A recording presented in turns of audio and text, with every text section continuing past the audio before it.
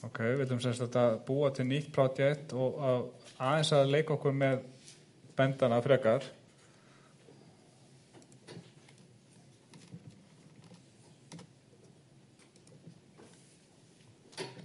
Með svona hérna bendarikning. Hvað er að kalla þetta? Arithmetic.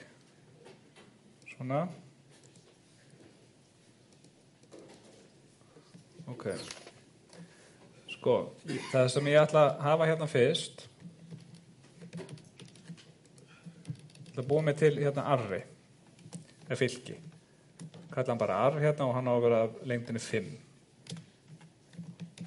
hérna ætti ég auðvitað að vera með konstant frekar heldur en að hargóða en, en þið vitið það núna það sleppa því.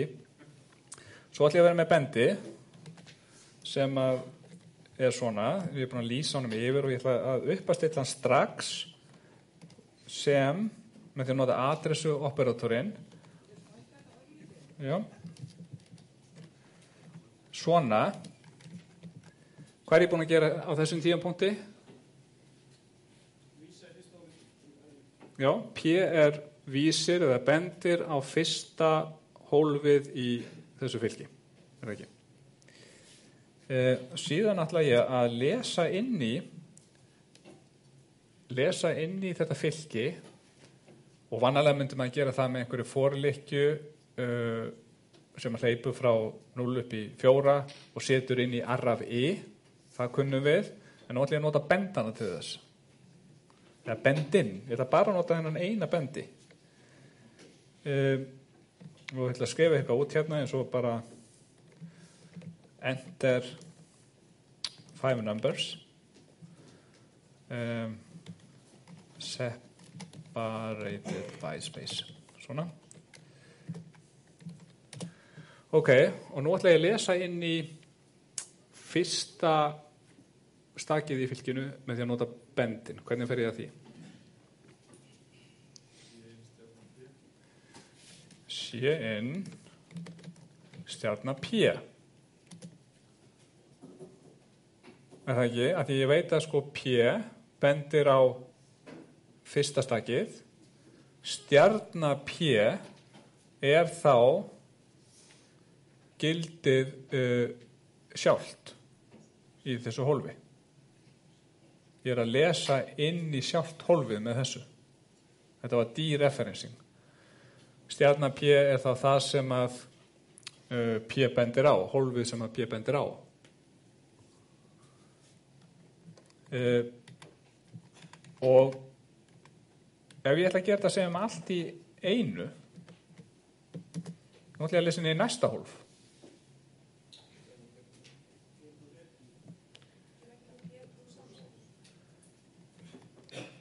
Ég gæti gert það að sko hækka bendin en þá þurfti ég kannski að gera það áður en ég fyrir að lesa inn næsta stak en ég get gert þetta allt í einu ég get gert þetta svona er það ekki? að því að P plus 1 er hvað? næsta stak það er, er stak nummer 2 í fylkinu og stjarna á það er þá gildið í því hólfi og ég er að lesa þá inn í inn fyrir það gildi og þá ætti ég að geta gert bara svona. Tveir hér næst. Það er þá þriðja hólfið. Fjórða hólfið. Og fymta hólfið.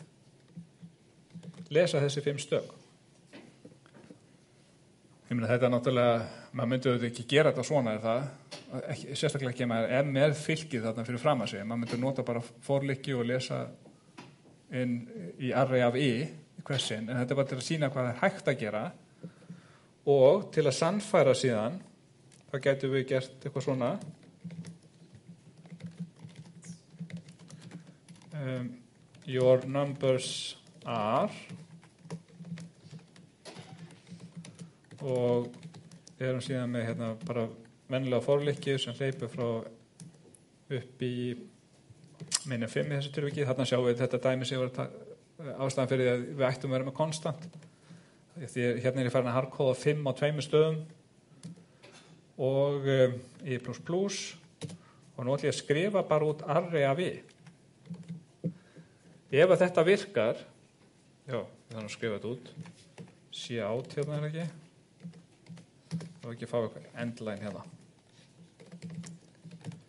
nú ég, nú skrifa ég sem sagt út fylgið í lokin og það ætti þá að vera með þessum stökum sem ég sló inn, er það ekki? Þannig ég er að nota bendana til þess að að uh, færa mig frá fyrsta stakinu fylginu upp í fymta stakið lesa inn í sekvið stak þannig og svo bara prenta út fylgið í lokin ok, þýttist enter five numbers separated by space. Segjum bara 1, 2, 3, 4 og 5 your numbers are 1, 2, 3, 4 og 5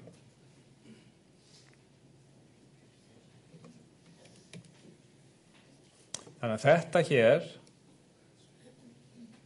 og ítrekka er ekki, er ekki þessi hérna vennulega leið þess að lesin í fylki en er bara dæ, er dæmi um hvað maður getur gert með bendum og þetta er þess að benda reikningur. Við erum að færa bendana til. Með því að bæta einhverju við þá þá færa við þá til.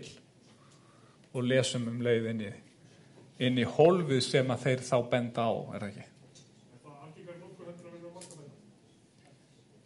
Um, já, ég myndi segja sko það að sko ef maður eru á annar borð að láta bendi benda á einhvern svona struktúr eins og fylki þá er algengleið að ferðast um eftir fylginu með því að hreinlega vera með eitt bendi og bæta alltaf einu við. Frekar heldur hann að halda utan um einhverja marga benda. Þá myndir ekki hérna fórstilla bendin P hérna sem minnir satt svona R0 já, Þú myndir bara fyrst tilkynna pointerinn P. Já, myndir þá í næstu línu gera bara P jæft og þú veist, ampersand R0 já sem sagt spurningin er ef ég ger þetta ekki svona hérna lýsi ég bara yfir bendinum P hann hefur þá ekkert gildi og það þýðir það þá að þetta mun ekki ganga núna. Vegna þess að P bendir ekki neitt. Ég fengi bara já, hvað eiginlega gerist? Hvað, ef að sjá það?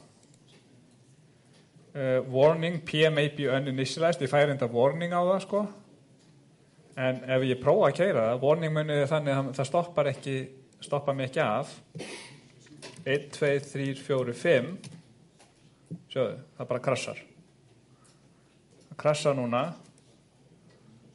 Og að því að það er verið að lesa hér inn í e, það er verið að reyna að gera dereferencing á bendi sem að er ekki uppastiltur. Þetta er þarna dæmið okkar í vídjóinu þar sem hann brotnaði þarna pingi, eða hvað ég hérna pointi, nei, hvað ég hérna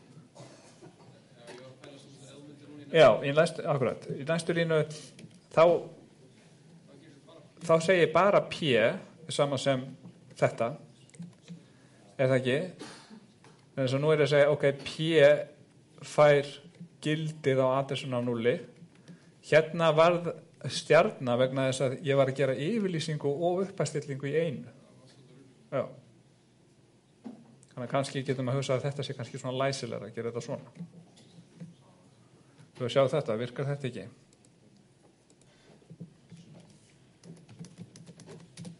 Já.